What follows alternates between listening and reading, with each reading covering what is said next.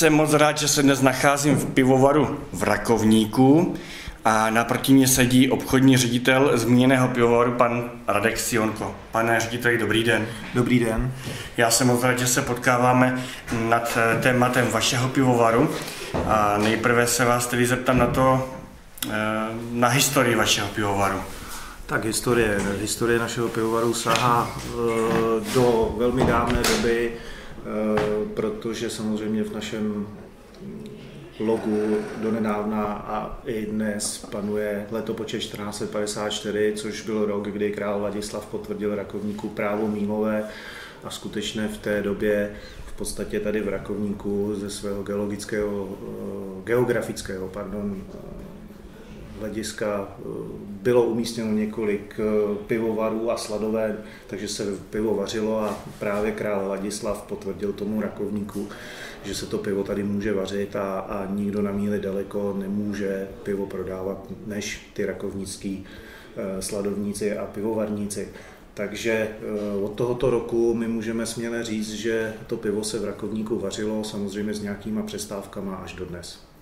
Dobře, a ten současný pivovar, ve kterém my sedíme, jako takový eh, vznikl kdy? Pivovar Rakovník. Tak pivovar Rakovník, ten samozřejmě eh, v dobách, eh, kdy tady byl minulý režim, tak byl součástí vlastně těch pivovarů, které tady se vyskytovaly a nově vzniklý, dá se říct, pivovar vznikl po revoluci, měl takovou pochmurnou historii, kdy vystřídal několik, vystřídal několik majitelů, eh, kterým se, řekl bych, moc nedařilo. A v roce 2010 eh, ho koupil eh, v podstatě současný vlastník a investoval velmi vysoké částky do technologií a vůbec do přestavby toho pivovaru, tak, aby vypadal eh, právě tak, jak vypadá dnes. To... Kdo tedy vlastně ten pivovar není vlastní? Eh, vlastní to eh, nadnárodní společnost obchodníků s pivem. Mm-hmm. A v České republice, kromě toho Rakovníka, ještě vám patří nějaký další pivovar? Ne. E, Rakovník je jeden z mála samostatných e, pivovarů, to znamená, e, to, co se uvaří tady v Rakovníku, se rovněž pod značkou toho rakovnického piva prodá. My nemáme žádný jiný závod, to znamená, vaříme pivo pouze v Rakovníku. Mm-hmm. Rakovnické pivo, já se přiznám, že mi docela hodně chutná. Váš bakalář, Několikrát už jsem ho tady měl v Rakovníku, když taky nejsem poprvé. Děkuji.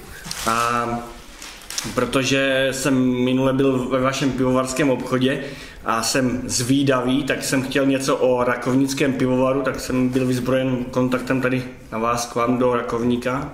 Ano. A proto tady vlastně dnes jsem. Eh, pojďme si představit váš sortiment, vaše piva. Čím začneme? Takže začneme bakalářem, protože tak, jak jste zmínil, bakalář se tady vaříval a vaří samozřejmě dodnes. Značka bakalář je určena pro tuzemský trh. V bakaláři eh, máme několik druhů piva.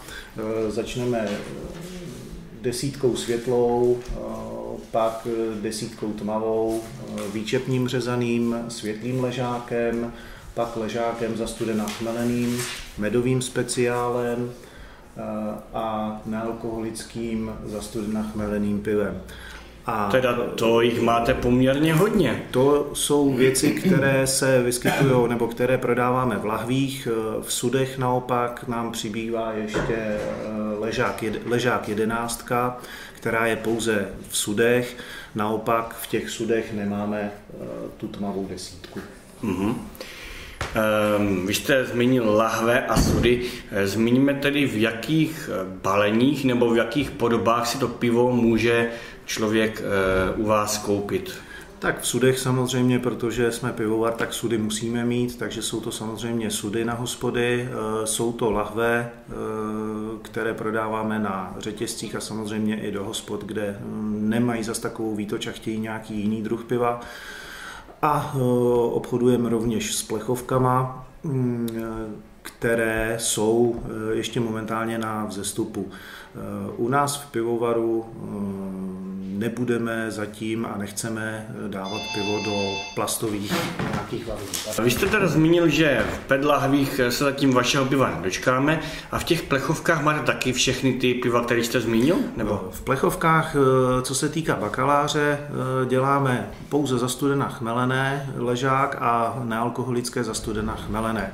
Kdybychom se vrátili ještě k těm značkám, no. tak eh, pivo Rakovník vaří ještě dvě značky, a to Pražačku a Černovár. Eh, Pražačka, Černovár jsou značky určené mm, především pro exportní trhy, ale samozřejmě i v Čechách eh, lidé můžou narazit na hospody, které nabízejí tyto dvě značky. Co to vlastně za značky? Ten Černovar třeba to je? Černovar je to speciálně vyvinutý ležák, jak světlý, tak tmavý. Máme ho ve dvou variantách.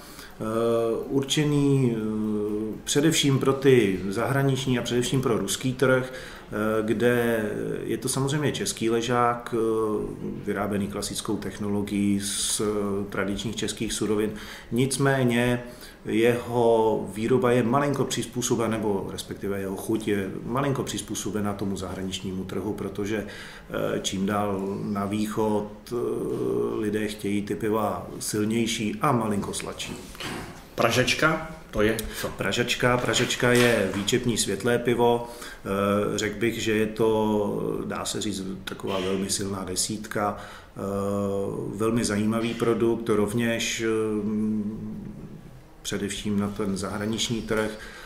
Ale musím říct, že Pražačka, ačkoliv byla určená pro to zahraničí, tak u nás si získává své eh, sympatanty a eh, rovněž vyhrává spoustu, spoustu ocenění. Dobře, zmínil jste ocenění. Řekněme si, jakých eh, různých soutěží se váš pivovar účastní a s jakými výsledky? Náš pivovar se účastní několika soutěží. Zúčastňujeme se v Českých Budějovicích e, soutěží České pivo, e, rovněž na degustačních soutěžích v Žaci a různých dalších, e, které jsou vlastně v naší republice. Rovněž se snažíme naše piva zadávat do degustačních soutěží v zahraničí. Musím říct, že eh, těch úspěchů, které naše piva získávají, je mnoho a jsme hrdí na každý malý, drobný, eh, významný úspěch. Dobře, tak se pojďte chlubit. Tak to jste mě trochu zaskočil, takže eh, budu muset zapátrat. Určitě v loňském roce to bylo zhruba 6-7 ocenění, nebo spíš 6 ocenění na eh, žatecké dočasné. Eh, rovněž eh, to bylo v rámci českého piva nějaké druhé místo, ale tohle jste mě trochu zaskočil, to bych vám musel dodat. Co se týká ocenění piv rakovnického pivovaru, sbírají je každou chvíli v podstatě, protože těch ocenění získali už poměrně celou řadu. Nejčastěji na festivalech Pivo České republiky, který se koná v Českých Budějovicích a také dočasná Žatec. Pivo Černovar získalo například uh, Australian International Beer Awards 2012 třetí místo, nebo uh, piva několikrát se umístila na prvních třech místech International Beer Festival Budweiser. Znamená to, že pivo Rakovník je velmi kvalitní a proto také dostává četná ocenění. Kde se s vaším pivem potkáme všude? Vy jste říkal tedy, že u nás i v zahraničí. Pojďme si říct třeba, kam vaše pivo vyvážíte. Vyvážíme do několika zemí, eh, je to zhruba 25 zemí.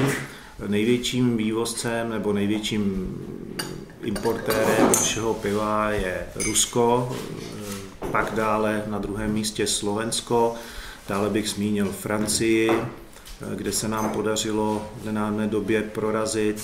A pak jsou to takový stálí zákazníci, jsou to pobaltské země, Austrálie, Čína, Korea, je to Německo, Polsko, Maďarsko. Je to spoustu, spoustu zemí, rovněž Izrael musím taky zmínit.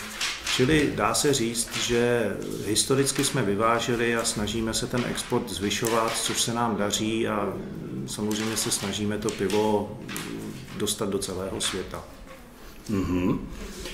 A kolik má váš pivovar zaměstnanců? Kolik vás tady vlastně vůbec je v Rakovníku?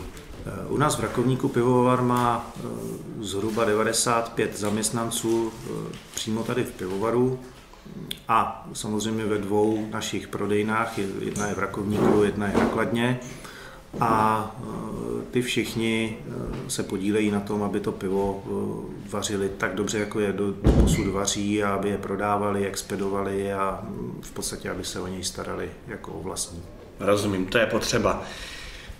Zeptám se vás na nějaké propagační předměty. My, kteří pivo, pivo rádi pijeme, tak máme samozřejmě také rádi, když eh, k tomu pivovaru je nějaký předmět, který nám třeba ten daný pivovar připomíná.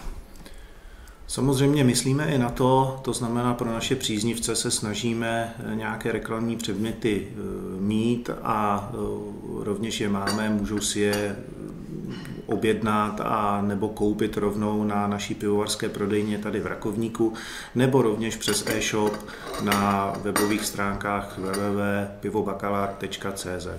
A jaké to jsou předměty? Eh, jsou to eh, otvíráky, jsou to silikonové náramky, jsou to eh, přívěšky, světýlka, samozřejmě lidé, kteří sbírají, tak můžou si zakoupit naše sklo, jsou tam dárkové balení, pivní kosmetiky a tak dále. To je co, pivní kosmetika? To jste mi trošku... To... Pivní kosmetika, pivní kosmetika, je to kosmetika mm-hmm. na bázi piva, to znamená, je tam nějaký vlasový šampon, eh, koupelnová pěna a tak dále, čili Aha. je to takový dárkový balení, kde v těch příměsích té kosmetiky je rovněž eh, trochu chmele a tak dále. Má to s tím pivem něco společného. Ještě se vrátím k výrobě piva. Eh, vaše pivo je plzeňského typu nebo jaké? Ano, plzeňského typu vyráběno klasickou technologií dvoumutovým mutováním. To znamená, že používáte, předpokládám, žatecký červeňák? Nebo? Ano, přesně tak, žatecký červeňák. E, náš pivovar na spoustu svých piv má označení české pivo, to znamená, e, používáme jen ty nejkvalitnější české produkty k výrobě našich piv a ta klasická technologie v sobě obnáší samozřejmě eh, kvašení toho piva v otevřených kádích a pak klasické ležácké eh, tanky, kde to pivo leží podle druhu 50 eh, až 60 dní. Zeptám se vás na nějaké pivní speciály. Vy jste tady zmínil ten medový, ještě nějaké jiné děláte třeba nějaké speciály, nevím, k Vánocům, Velikonocům a tak, svátkům různým třeba? Minulý rok jsme poprvé eh, přinesli na trh eh, vídeňský ležák polotmavý speciál, to znamená, to je náš takový velikonoční speciál. A eh, každé Vánoce se snažíme lidem přinášet rakovar. Je to pivo, které je jedině u nás vařené na tři rmuty ale jak říkám, je to speciál na Vánoce, to znamená, lidé si ho můžou dopřát v období Vánoc a na ty Velikonoce opět eh, připravujeme eh, ten velikonoční speciál v podobě toho vídeňského ležáku. Mm-hmm. A u nás v republice se s pivem potkáme kde? Vaším tedy. Protože jsme stále, řekl bych, regionální pivovar, eh, nejsme celonárodní, tak eh, zatím eh, jsme pouze, dá se říct, v okolí Komína, to je samozřejmé, na severu Čech, na západě, nově se snažíme prorazit ve východních Čechách, řekl bych, Jižní Čechy už pomalu začínají být taky baštou rakovnického piva. No a zatím se nám nejdále podařilo navázat spolupráci v Brně a e, nějaké hospody už vznikaly v Brně. Samozřejmě o těch oblastech, o kterých hovořím, tak to pivo koupíte jak v hospodách, tak se snažíme, aby i v řetězcích v těch oblastech bylo pivo k dostání. Co pro vás znamená pivovar nebo práce v pivovaře a taky vlastně potažmo, jak jste se k ní dostal co třeba pro vás znamená pivo? Pivo to je, řekl bych, nápoj Čechů. Je to velmi zajímavý produkt eh, a pivo je velmi komunikativní produkt. Já mám rád práci s lidmi, eh, mám rád tu různorodost eh, toho obchodování, proto mě přináší potěšení pracovat pro pivovar, protože to pivo spojuje ty lidi, zároveň je taky samozřejmě trošku Eh, rozhádá, ale ve výsledku eh, je to vždycky o tom, když si sednete do té hospody, vyslechnete si názory ostatních a, a popovídáte si, takže eh, řekl bych, že to pivo stmeluje a tohle na tom pivu mám rád a proto mm, jsem, kde jsem. Mm-hmm. Ještě mě napadla otázka, takže ji rychle položím, ať zase nezapomenu. Pořádáte třeba nějaké akce ani otevřených dveří nebo nějaké jiné akce, kdy vlastně by veřejnost se mohla k vám podívat a nevím, nějaké festivaly nebo něco? Tak eh, samozřejmě, že ano, protože chceme ukázat těm lidem, co je tady nového, jaké máme nové produkty, pokud je uděláme. Takže čtyřikrát do roka pořádáme takový den otevřených dveří tady u nás na Pivovarském dvoře. Největší akcí je vítání léta, která bývá pravidelem někdy 2. 3. července. A samozřejmě začínáme Velikonocema, pak je to vítání léta, pak máme, tuším, zabíjačku na pivovarském dvoře, a ještě máme posvícení. To jsou čtyři akce, které pořádáme tady na Pivovarském dvoře. Zároveň pořádáme a e, letos to vychází na 2. února Pivovarský ples pro širokou veřejnost tadyhle v Rakovníku a samozřejmě pro naše partnery. A nadále se zúčastňujeme rovněž e, akcí, kde jsou nějaké pivní festivaly, kde nás osloví, e, my zvážíme, že by nám to opravdu přineslo, chceme se prezentovat, chceme se ukázat, čili jak na degustačních eh, soutěžích, eh, které sebou nesou i pro veřejnost nějaké ochutnávky, tak i například ve Velký Dobrý na letišti nebo mm, v dalších takových pivních slavnostech, eh, třeba Českého svazu nebo České zemědělské inspekce na letenské pláni nebo v rámci nějakých výstav s, vystav, s naším partnerem, sběratel. Takže uh, účastníme se spousty a spousty drobných vlastně akcí. Mm-hmm. Pane řediteli, já vám popřeju, aby se vám dařilo ve vaší práci tady u vás v Rakovníku. Já doufám, že se nevidíme naposledy. Nahrávku vám samozřejmě milé rád dovezu, zase osobně. Děkuji. A bylo mi potěšením, že jste si na mě udělal dnes porádný čas. Maličkost, přeji vám taky eh, mnoho úspěchů a eh, dalších dobrých reportáží. Děkuji.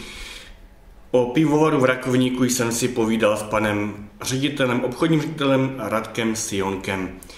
Rozhovor vedl Michal Simon. Nahrávka vznikla 25. ledna 2019 v Rakovníku.